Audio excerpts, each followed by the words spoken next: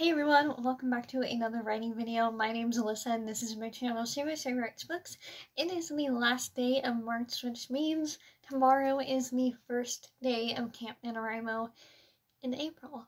And I have my Camp NaNoWriMo site up um, with my projects list, project, yeah, project list up there. And I am so excited uh, it still says it's in the prepping stage and there's no words yet. So I still can write like when it says on the screen 1667 words. I really wonder how they how they figured out like the whole like how many words you have to write to hit 50,000. Um, I don't even know if this will hit 50,000 just because I don't I don't even know how long Kyle's Purgatory is now that I have the end, but I am I've already started rewriting it. So in this video, I just want to give you a brief overview of what my next four months of writing will be.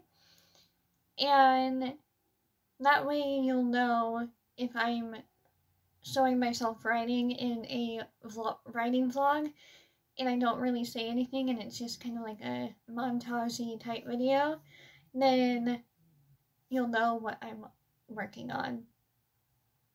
A general idea of what I'm working on.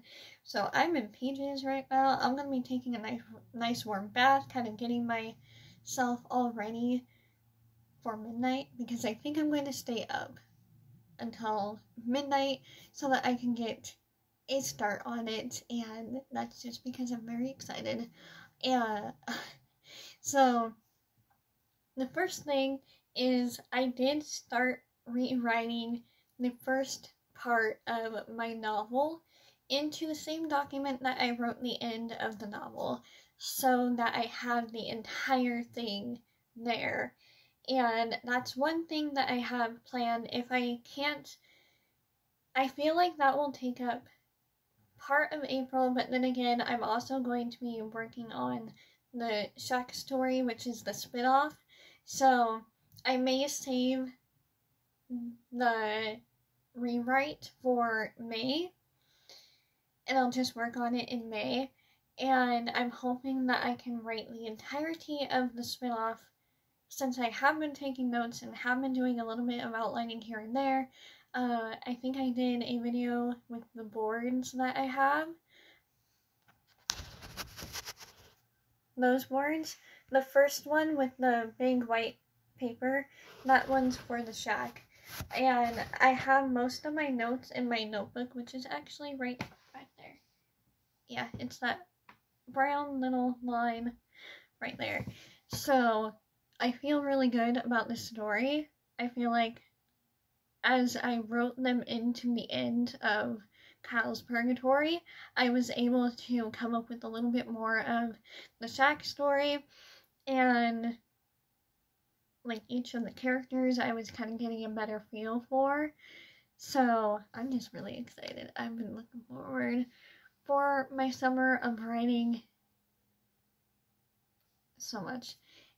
Uh, and since it's harder for me now to get a job since we're all having to stay inside and places are shutting down, then I feel like I'm gonna be able to get a lot more done if I really stay focused, especially with my novel, because I do want that to come out this year. So hopefully I can get that all done. And so, with that said, first off, this month, this coming month, I'm going to be working on the shack for Camp NaNoWriMo. In, a- in May, I will be continuing to work on the rewrite for Kyle's Purgatory.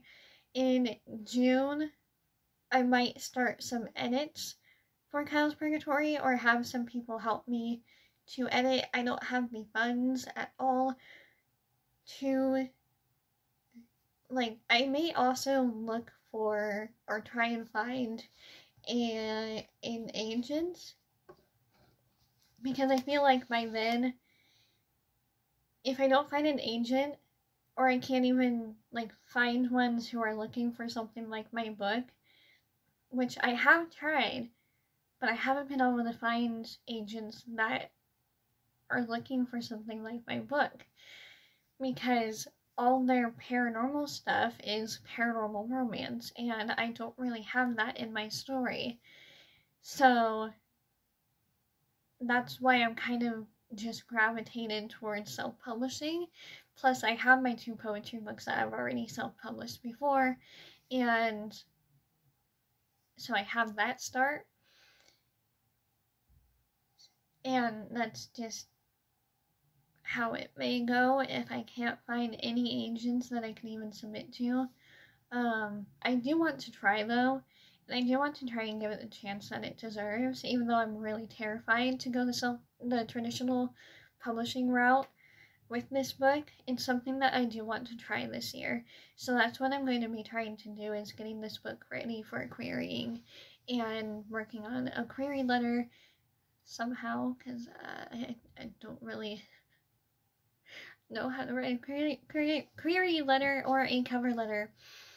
And then I have Sadiq's story, which I do want to implement more within the first draft um because I found him more through the end of the book.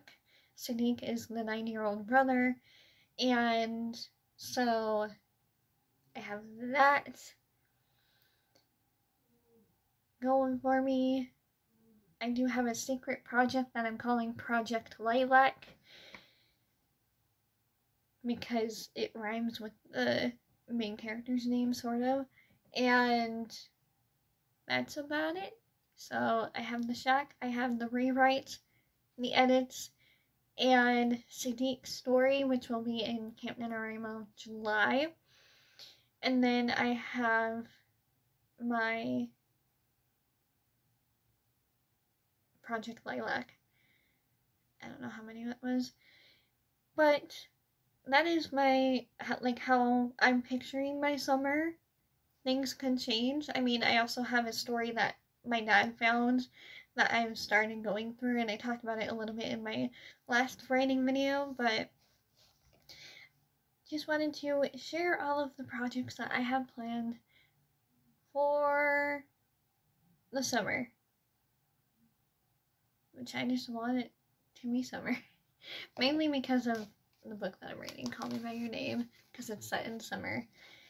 And today was a really nice summer type day. And when I waited for my boyfriend to pick me up after work, he, like, I read a little bit of the book on my Kindle. And it just felt so nice sitting in the shade, or standing in the shade, waiting for him outside summer. So that is it.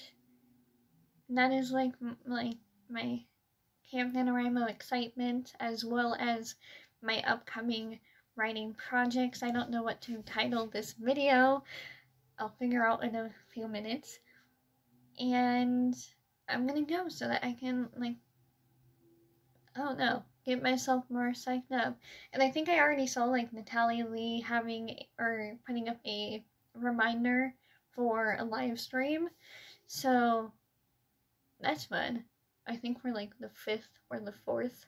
I need to put it on my on my wall calendar, which I love so much. I got that at Walmart. It's a Walking Dead wall calendar. Well, no, I had my boyfriend get me that at Walmart because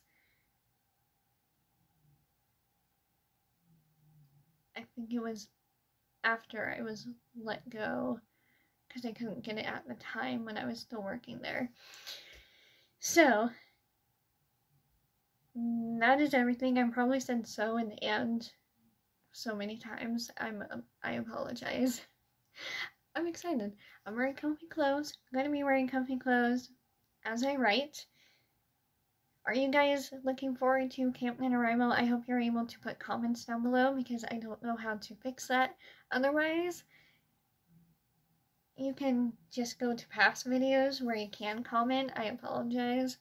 Um, don't forget to like, comment, and subscribe for more Camp, Camp NaNoWriMo related videos. Yeah, I'm really glad I made this video because it's, it's like a talk through of what I want to accomplish over the summer or try to accomplish over the summer. And I just can't wait to write the Shack story. I'm really, really praying that I can find another name.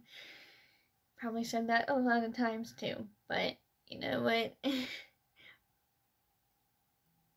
I don't know what else to say. Thank you so much for watching this video. I hope you guys are as excited as I am and are planning your summer writing routine. Let me know in the comments down below what you're planning to do for April. And I will see you in the next video, which will probably be tomorrow. Bye.